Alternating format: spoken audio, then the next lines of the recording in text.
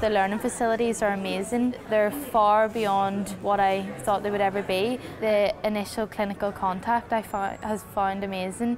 I mean, from day one we've been able to see patients when you're out in the hospitals or in a GP. I mean it's so exciting and reinforces why I want to do medicine. I was put forward for a scholarship, part of the Queen's Scholar Programme. It was such an amazing opportunity to have the chance to represent Queen's as a scholar. In fourth year you have an opportunity to do a student elective where you can study anywhere in the world for a six week period so popular places would be like Australia, America, India. I think it's such an invaluable experience because it doesn't only allow me to develop my medical skills but also essential life skills. There are so many opportunities and openings that Queen's have given me that as they say the world is your oyster and that take full advantage of every opportunity that you get and I suppose enjoy it because it goes quite fast. There's maybe a lot of work but it's you can still have the balance of enjoyment, work, play, fun.